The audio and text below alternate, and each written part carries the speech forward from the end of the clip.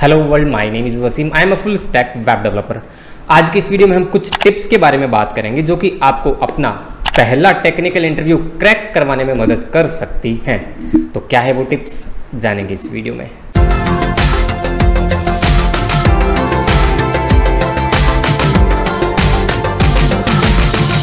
Tip number one prepare for common interview questions my dear life का चाहे पहला interview हो या फिर दसवां कुछ बेसिक क्वेश्चंस होते हैं जो कि हर एक कैंडिडेट से पूछे जाते हैं और वो बिल्कुल बेसिक क्वेश्चंस होते हैं। स्टार्टिंग क्वेश्चन यही होगा tell me about yourself तो इस क्वेश्चन का आंसर तुम्हारे पास तीन से चार वर्जन में होना चाहिए ताकि अलग अलग इंटरव्यूज़ में अलग अलग बोल सको राइट दूसरा क्वेश्चन हो सकता है व्हाट आर योर स्ट्रेंथ और वीकनेस और why you are suitable for this position तो ये कुछ बेसिक क्वेश्चन हैं जो कि हर एक इंटरव्यू में पूछे जाएँगे। तो इनकी तैयारी पहले से करके जाना मतलब कुछ सेट ऑफ़ आंसर्स इनके बना के रख लो, ताकि आगे काम आते जाए okay tip number two be genuine और रियल इंटरव्यूज़ के दौरान जितने जैनवन ऑथेंटिक और रियल रह सको, उतने रहने की कोशिश करना। कोशिश क्या रहना ही है।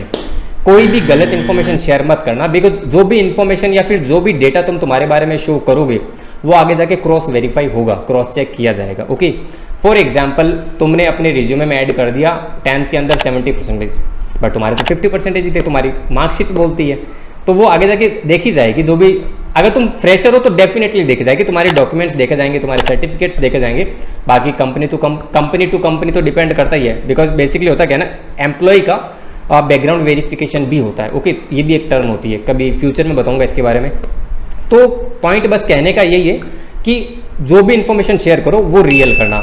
एक एग्जांपल इसका ये हो सकता है कि कई बार फ्रेशर या फिर एक्सपीरियंस पर्सन भी ये चीज़ करते हैं। सैलरी नेगोशिएट करने के चक्कर में या फिर सैलरी बढ़वाने के चक्कर में ये बोल देते हैं कि हमारे पास पहले से किसी कंपनी की तरफ़ से ऑफ़र है तो ये कंपनी आपको ज़्यादा पे कर दे।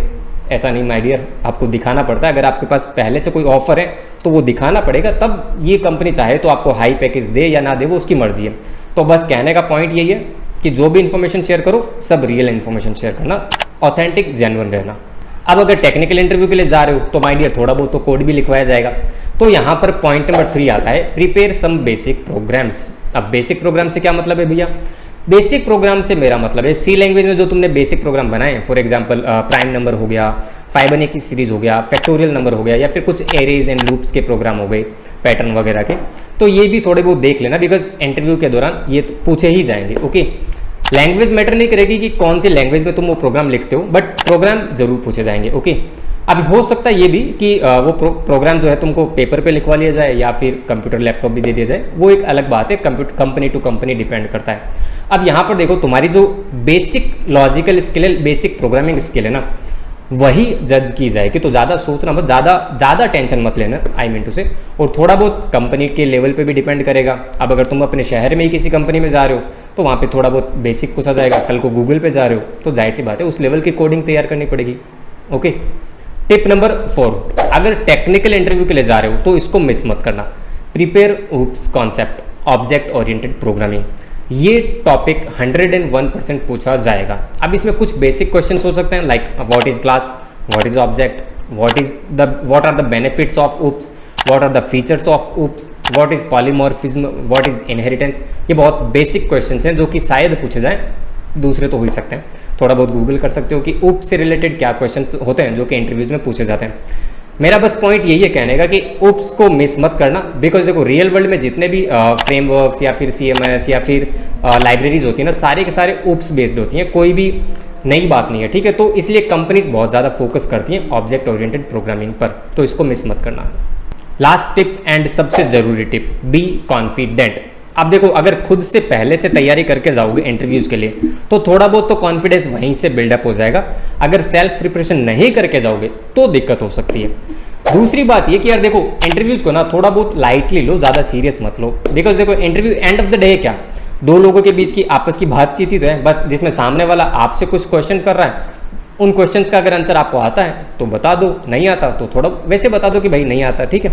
एंड ऑफ़ द डे जो भी इंटरव्यूअर आपसे क्वेश्चन कर रहा है, वो आपके एक्सपीरियंस आपकी एजुकेशन आपके स्किल्स आपके नॉलेज इन सभी के बारे में तो कर रहा है तो कुछ हवा में तो पूछेगा नहीं, जो भी पूछेगा आपसे रिलेटेड ही पूछेगा।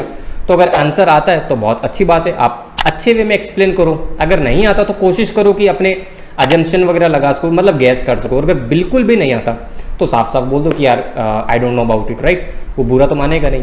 तो बस पॉइंट ये मेरा कहने का कि थोड़ा बहुत कॉन्फिडेंस रखना ज़रूरी है during the interview okay so that's it for this video अब अगर वीडियो में मेरे साथ अभी तक बने हुए माई डियर तो जाते जाते वीडियो को लाइक ज़रूर कर देना। चैनल पर पहली, दूसरी या फिर तीसरी, चौथी बार आ गई बट अभी तक सब्सक्राइब नहीं किया। तो यार, अभी भी सोच रहे हो please hit that subscribe button because it motivates me Instagram और लिंकडिन पर भी आ सकते हो, वहाँ पर भी अपना सपोर्ट दिखा सकते हो। बातचीत करना चाहते हो, कोई क्वेश्चन या फिर सवाल है तो डीएम भी कर सकते हो। I will reply you as soon as possible okay चलो फिर मिलते हैं नेक्स्ट वीडियो के अंदर। Till then bye bye